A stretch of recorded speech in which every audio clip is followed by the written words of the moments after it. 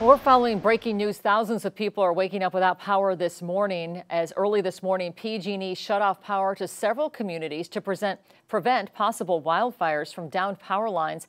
The winds have really picked up this morning. Trees are blowing and the public safety power shutoffs expected to affect 8,000 customers in parts of eight counties and two tribal areas. Here's a look at the map showing where the power out is out in Butte County. Power was shut off at 145 this morning for 349 customers along Highway 70 in communities like Concow, Yankee Hill, and Jarbo Gap. In Shasta County, the power is out in eastern Shasta County, uh, Round Mountain and Montgomery Creek, and southwest of Redding in Igo as well as other places expected to be affected are Anderson, west of that city, and near Cottonwood. They're expected to affect more than 3,800 customers.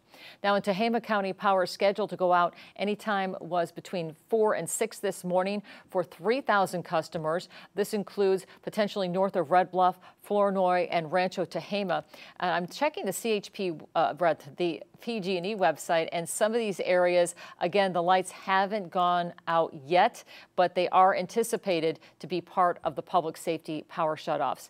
In Glenn County, power is scheduled to go out to 365 customers on the west side of the county, west of Willows and in Elk Creek and PG&E crews will be out doing inspections to restore the power as soon as possible.